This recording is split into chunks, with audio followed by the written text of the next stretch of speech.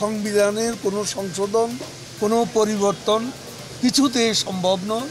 সংবিধানকে দেশে কাটাছেড়া করেছে, সংবিধানকে কলমের কোচায় সংবিধানকে ক্ষতবিক্ষত করেছে এই বিএনপি সরকার। তারাই সংবিধানের উপর আঘাত এনেছে, সংবিধানকে কলঙ্কিত করেছে। আমরা সংবিধান বাংলাদেশের পবিত্র সংবিধানকে অক্ষত রেখে সংবিধানের আলোকে আমরা আগামী নির্বাচন করতে চাই।